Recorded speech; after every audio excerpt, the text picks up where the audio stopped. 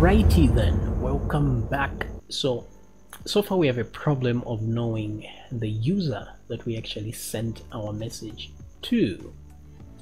So let's come back here to thread uh, .php. Mm -hmm. Maybe I should have named this to single thread. Eh, I don't know. Okay, so wait a minute here.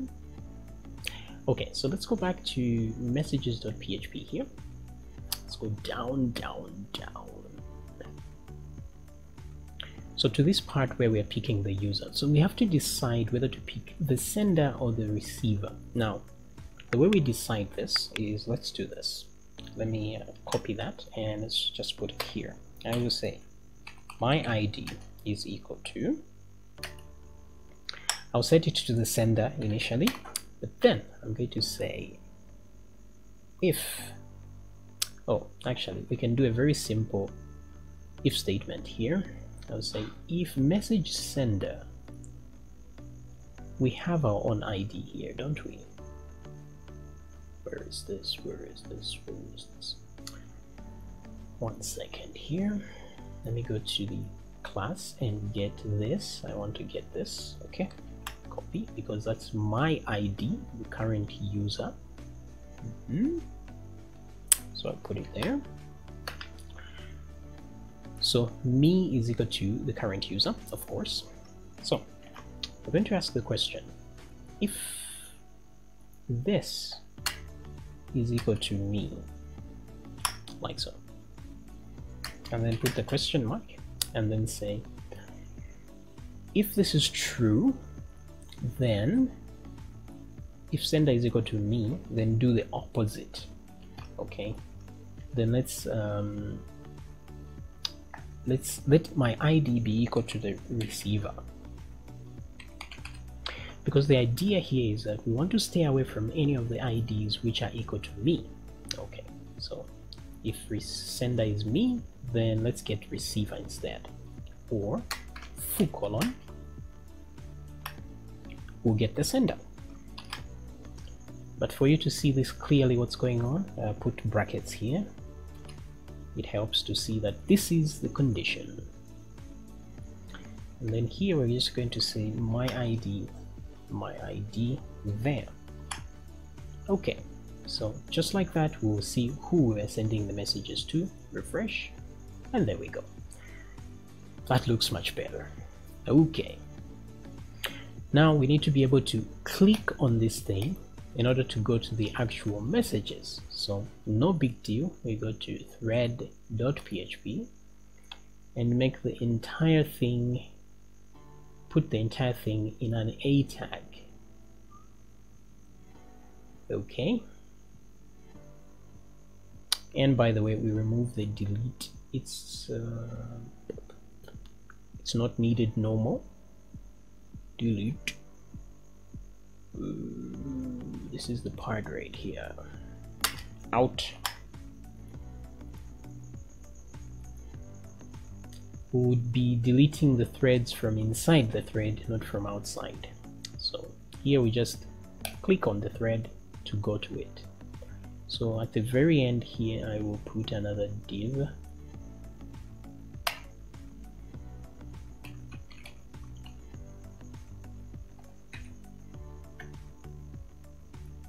Hmm. So I will say, let me add some styles. I'll say background color. Let's try blue. And then height 100%. Width, sorry, 50 pixels. And float.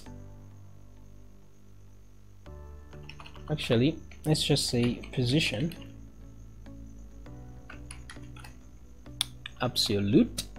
And then I'll say right 10 pixels. Top.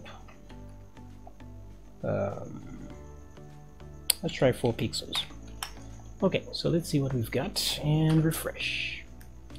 And we have everything on the far right here. Now the reason why this these divs that are supposed to be in here are out here is because our, our div here that is holding them doesn't have a position set. It has a position the default position set. So let's just change it to relative. So just going to say position relative so that we don't disturb what it does but we can use that to block these divs. So if I refresh now they'll be inside there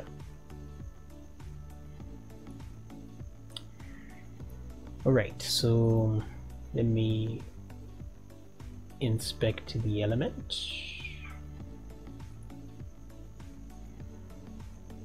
Let me change the color a little bit.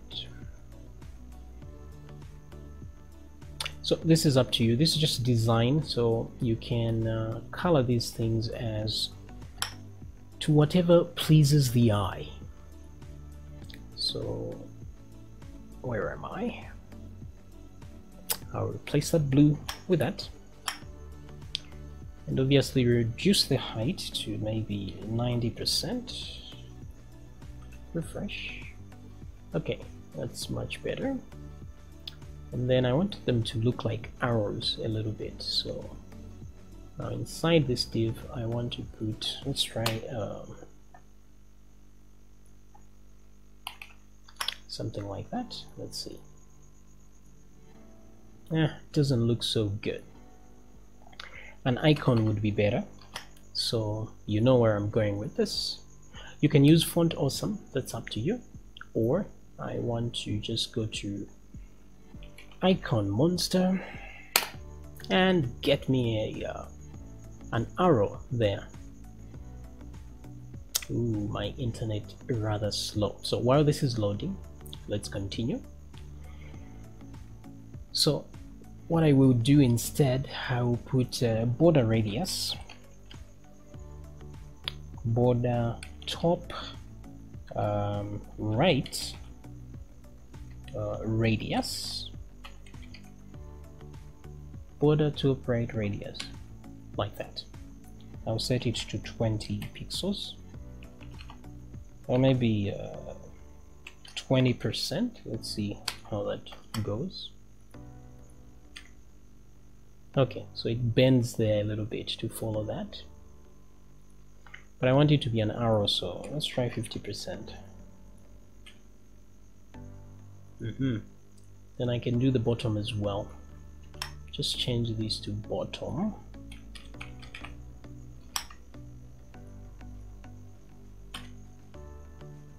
Yeah something like this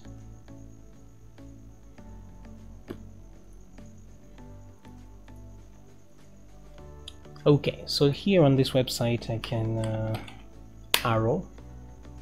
Let's search for an arrow. Okay so this is entirely up to you what arrow you want to use. What suits what you're about to do. So I was going for something like this. Or that um, but I think we can make do with this. Let's go to embed as usual and I will copy what is in there and paste it here. Therefore if I come back here and refresh I have that. Okay. Now if you want to center something um, in another container. You can say mm, let's add some styles here.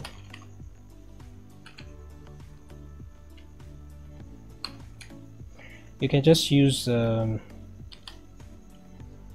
position again position absolute and then I'll say uh, left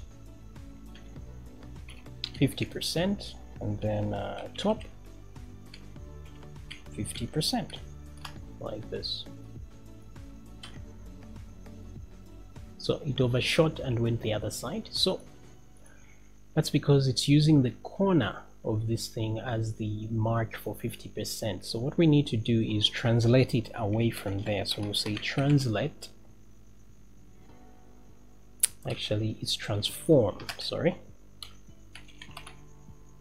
transform and then we use the translate and we translate uh, to let's say minus 50 percent comma minus 50 percent. Close that. That ought to do it. There we go. And you get it in the center like that. Now the coloring if you want to change the color you use a fill. So say fill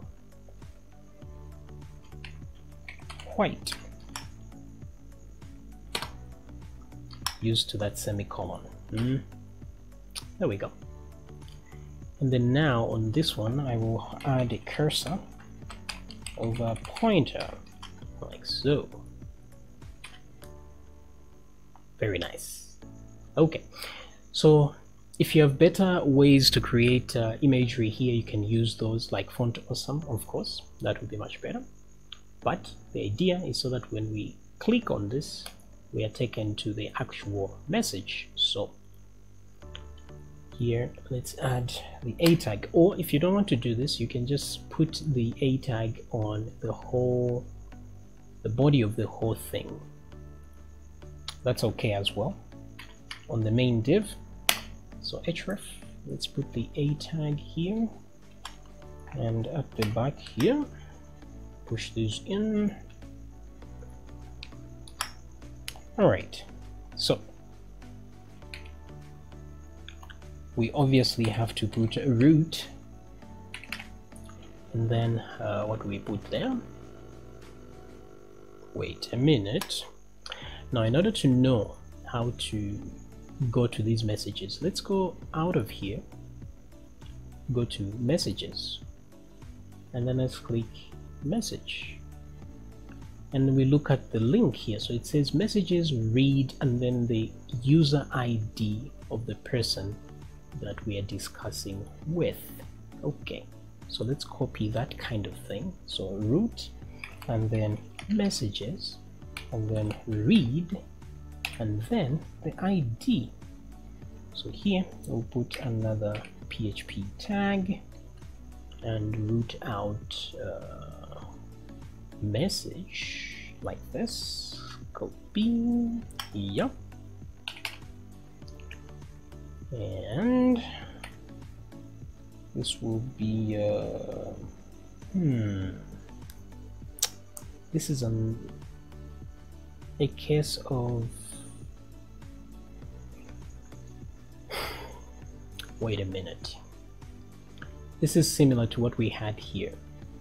Okay we have to know.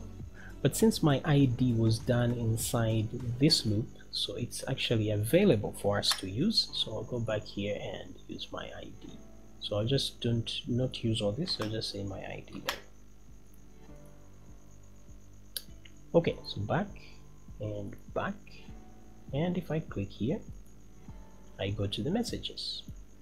And if I click here I go to the right messages. Simple and straightforward mm -hmm.